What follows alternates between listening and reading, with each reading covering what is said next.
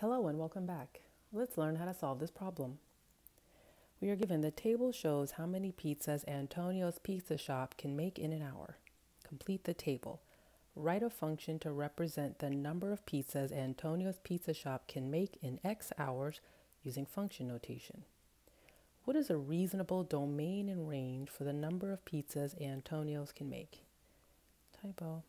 Okay, so there's a lot of information here. Let's take our time and break it down. We're given a table. It's not completely filled in. We're told to complete the table. Cool. Then we're told to write a function using function notation. Function notation looks something like this, for example. And then we need to determine a reasonable domain and range for this relationship here, the number of pizzas they can make in however many hours.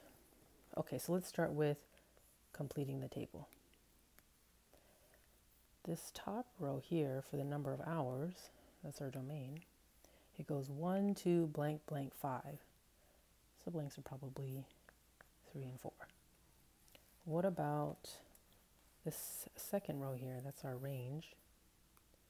Well, it should be constant. So the difference here and here, here and here should be the same here and here and here and here. Okay, so 49 minus 31 is 18. 67 minus 49 is 18. So that means that 67 plus 18, this box would be 30, 85, excuse me.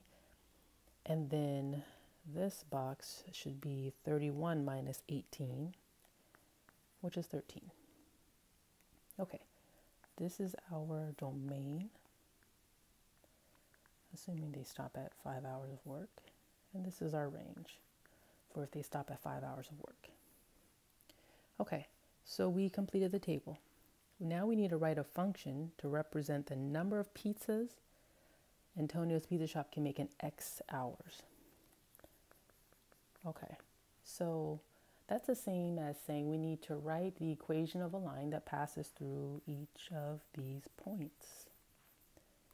Well, if we know the slope and the y-intercept, we can write the equation in slope-intercept form. We do know the slope. That's what this was. So we know the slope is 18. That would be the coefficient for x. What about the y-intercept? The y-intercept is when x is equal to 0. When x is equal to 0. So let's use y equals mx plus b. Substitute for this, this, and this and find b. Okay, well we can pick any point to plug in for our x comma y. So let's pick this one. So that means we have 13 is equal to, oops, 18 times 1 plus b minus 18 on both sides. And the y-intercept is negative 5. So here is our function in function notation to represent the number of pizzas that can be made in X hours.